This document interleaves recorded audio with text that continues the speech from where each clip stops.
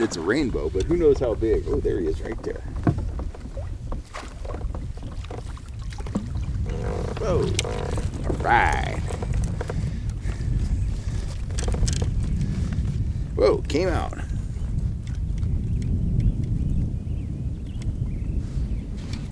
There you go. The old chrome and blue cripple lure. We're one for one, one on the brass and red and one on the chrome and blue. Let's take a look at that fish. Oh, he's a beauty. He'll look good on the stringer. That's for sure. Howdy folks, Cal Kellogg here. You know, when I was a kid, I'd go to the tackle shop and I would just stand there as long as I could and I would look at all the different lures and, you know, I would be daydreaming about the potential, you know, which lure would catch fish. Man, I'd be visualizing myself catching a big old trout or a big old bass on one of those lures. And uh, I used to buy one occasionally, but mostly I'd kind of stand there and daydream and drool. But one of the things, you know, when I was a youngster, I never understood is why would you buy a clear lure. I, I, it's clearer, almost clear. That that just made me, you know, really wonder. You know, what are what are people thinking? Why would you buy a lure that is the you know virtually the same color as the water? Well, I can tell you now with decades of fishing experience under my belt that clear lures are some of the most effective offerings you can use, whether you're fishing for black bass or trout or whatever. Um, and I'm not exactly sure why. Um, partially, I think it's because the presentation is so subtle, and I don't think that the fish can really dial in on the lure. I think they get glimpses of it, they can feel it, they can feel the vibration, but they can't see it as well as they'd see, you know, a lot of other finished lures, and I think that really helps to trigger strikes. Here's one of my favorite lures for trolling. Um, these are my apexes and uh, and my pro my pro troll lures. Um, but this one right here, this is my hands down favorite, a clear UV apex. Number two choice would be watermelon, but this is my number one choice for trout, landlocked kings, or kokanee. If I'm to fish an apex style lure, if I think that's to be effective, this is the very first one I try, and I've caught so many nice fish on that thing.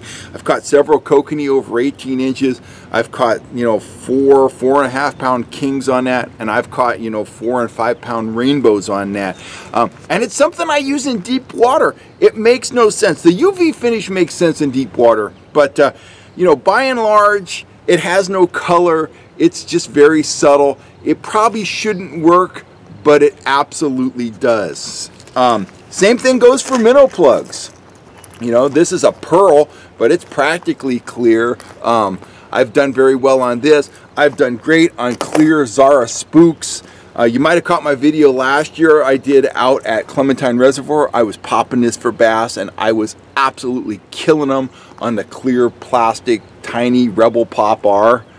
That's just a really cool bait, by the way. It is so tiny. So anyway, I like small poppers. A lot of times when the bass are, are being finicky, man, you toss that out there with a spinning rod on some six pound test and uh, bam, you're gonna get one. Again, clear lure. Um, I like to run clear um, finesse worms when I'm out for black bass. So I'm going to Folsom Lake, either a clear or a clear blue flake worm is probably going to be my first choice. Again, I just think that the subtlety of a clear lure, it just flat out works. And of course, I fish it with a lot of confidence, and that's probably part of the, the, the key to the effectiveness of it. You got to believe in what you're fishing. But I can tell you, if you're not fishing clear lures, um, you're missing out.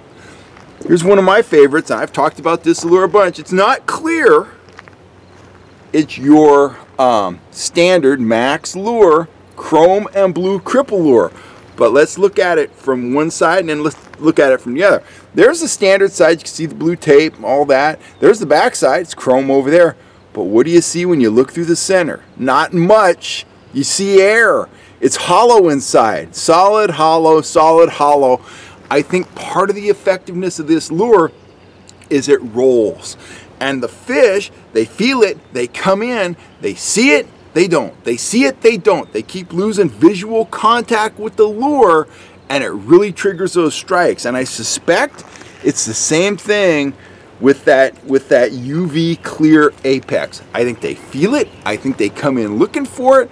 I think they, they, they know right where it is with their lateral line, but they're not really able to dial in on it visually. And I think when they get a little glimpse of it, they commit, they strike, and you got them. So just my observations. If you don't have some clear lures in your tackle arsenal, and I don't care if you're a trout guy, salmon guy, black bass, stripers, whatever. I, I, don't have it with me. Um, my favorite Zara spook of all time is that one that's just clear. You can see the ball bearings in it. It's just a clear piece of plastic and it is absolutely deadly. So in closing, get yourself some clear lures do a little bit of experimenting with them, and I think you're gonna like the results. You know, sometimes you want that bright finish, sometimes you want that fire tiger, you want to blow them out of the water, you want them to see it, man. You want you want to you know ring a fire fire engine siren at them. But other times it pays to be subtle, and there's nothing more subtle than a clear lure. So get yourself some.